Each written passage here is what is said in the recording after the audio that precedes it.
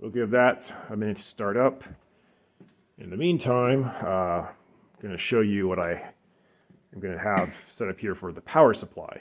Because uh, currently, I just have hooked up to a battery that I then have to recharge every now and again.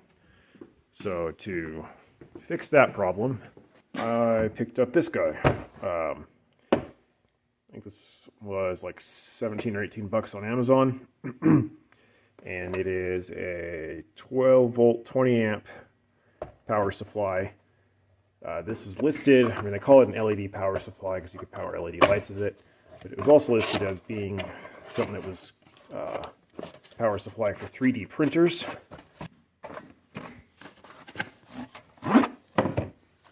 Alright, so that's what that is. Yeah, 12 volt, 20 amps. So when you uh, when you buy these power supplies, uh, this is all you get. And you might be wondering how you plug this into the wall. Well, you they don't include a power cord, so I have this cord which I saved from some old, uh, it's either some old power tool that died or something else. I don't remember what, but it'll work fine for this. So the way these are hooked up is you've got, so L, I'm assuming that's going to mean live, your neutral, and then ground. So for at least US wiring, black is live, white is neutral, green is ground. So we'll hook each of these up to the uh, to these three screws here. And then you have multiple outputs. We're only going to need two. But you got your COM, which would be ground or commons.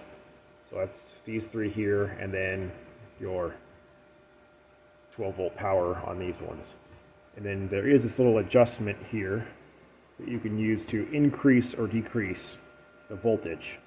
So I'm going to try and get that at, you know, a little over 12 volts. I'll hook the voltmeter up to it and uh, dial that in until you get uh, the power hooked up to that.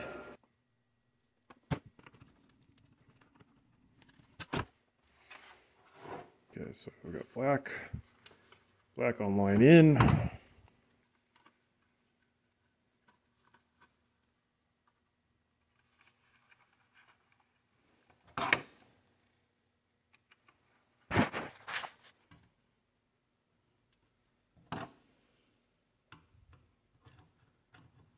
Okay, so now that all that is hooked up, go ahead and uh, plug this guy in. Be, uh, be careful not to touch any of those live wires there.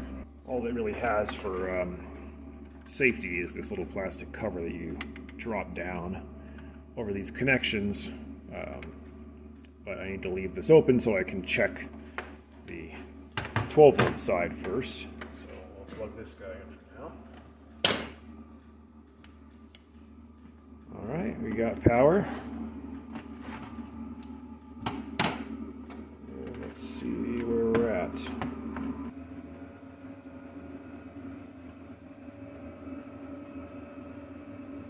So 11.7 volts. And let's adjust that here.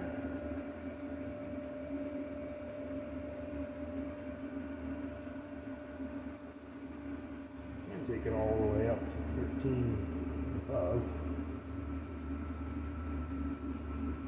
So let's, uh, since this, the uh, heater is designed for a vehicle, that would be about your standard voltage coming out of a charging system, 13 and a half volts. So we'll go ahead and run with that. And then now, let's, uh, yeah, now we'll go ahead and hook this guy up to the heater or to, so to hook the heater up to the power supply, first uh, make sure it's unplugged. And we're going to loosen one of the COM or ground bolts and one of the ones for 12 volt power, or in this case 13 and a half volts of power.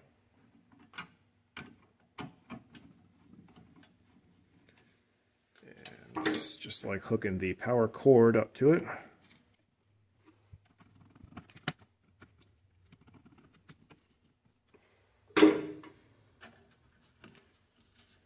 latch the little cover. So according to that there, we've got 13 volts. Should be more than enough. Not the prettiest setup, but at least I no longer have to have the battery hooked up. And I can now have it just plugged right into the wall outlet there. So let's see if it'll go ahead and ignite. All right, so it's uh, yeah, it's up and running.